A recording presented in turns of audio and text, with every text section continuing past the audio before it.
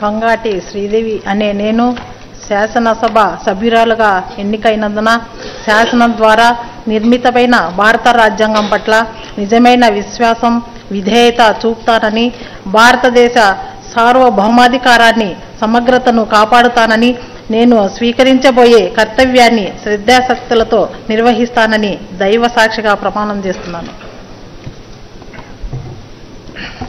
ఆంధ్రప్రదేశ్ శాసనసభ సభ్యురాలైన కంగాటి శ్రీదేవి అనే నేను సభ నియమాలకు కట్టుబడి ఉంటానని వాటిని అనుసరిస్తానని సభ మర్యాదలను పాటిస్తానని సంప్రదాయాలను గౌరవిస్తానని దైవ సాక్షిగా ప్రమాణం చేస్తున్నాను.